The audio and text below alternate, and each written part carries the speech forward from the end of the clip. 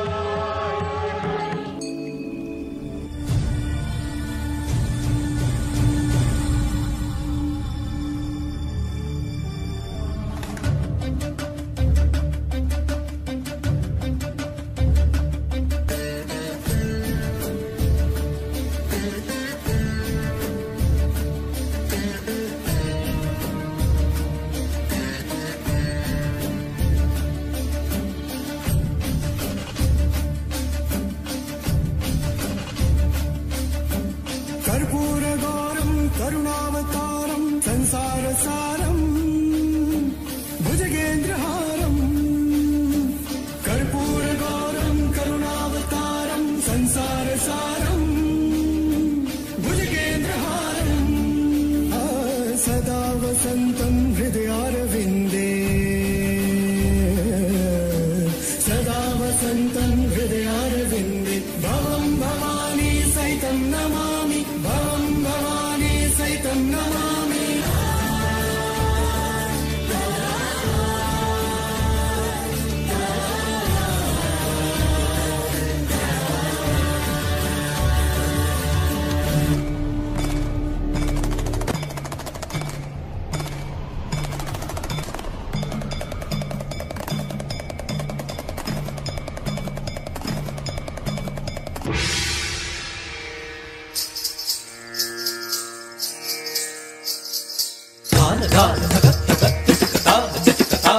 you can Mr. it.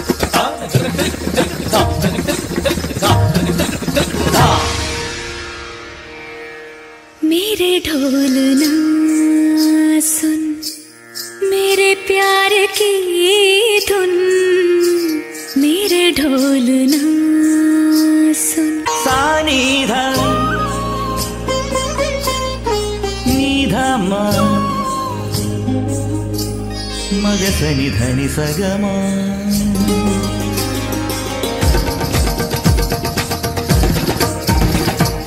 మగ సని ధని సగ మగ సని ధని సగమ. గ మగ సని ద మగ మదని సని ద మగ మదని సా ని ధ ని ధని స ధని స ధని స ధని స. మదట్ని మదట్ని మదట్ని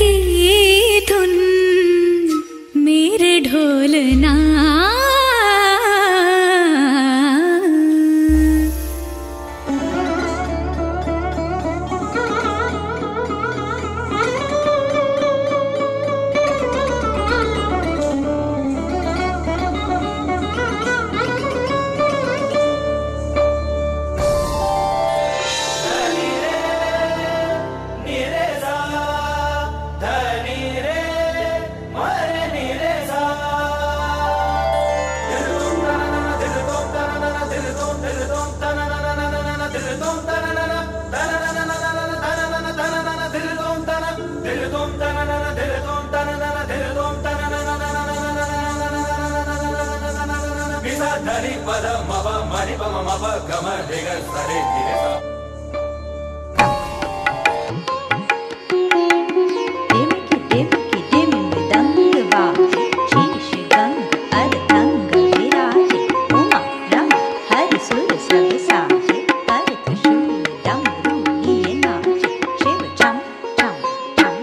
Shiva change?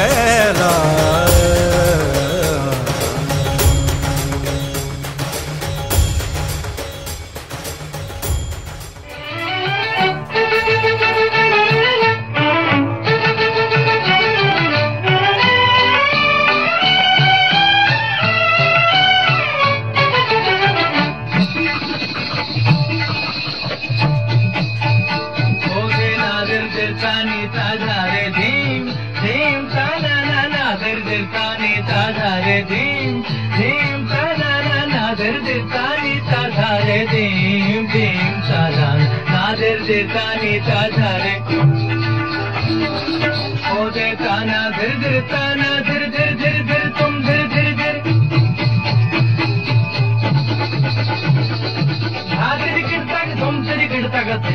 निकलता जाने नाजर दिल का नेता, ओझे नाजर दिल का नेता, ओझे नाजर दिल का नेता दार Bhim Bhim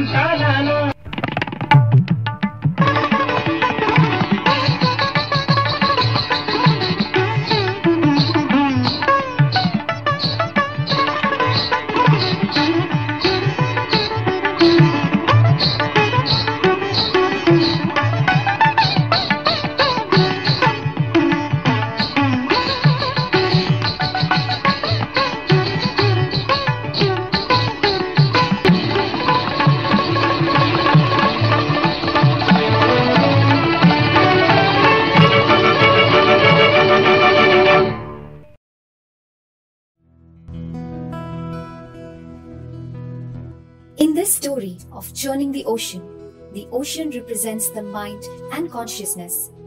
Mandara or the mountain represents concentration and awareness. The god here represents goodness in us, which is often overpowered by evils in the form of lust, greed, jealousy, anger, and hatred. The enormous serpent Vasuki as a symbol of desire and passion, without which one cannot achieve one's goal. Kurma represents the balance one requires to keep the mind in control during the sadhana.